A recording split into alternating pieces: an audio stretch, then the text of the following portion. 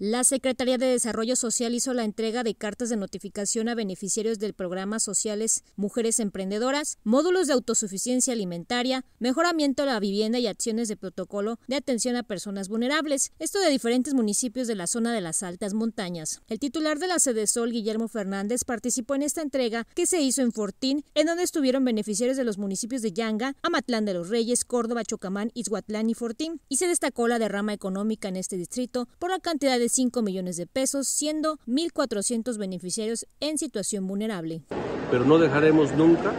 de seguir apoyando a la gente que más lo necesita, porque atrás de todo eso está el abatimiento de los indicadores de pobreza, de acceso a, buena alimentación,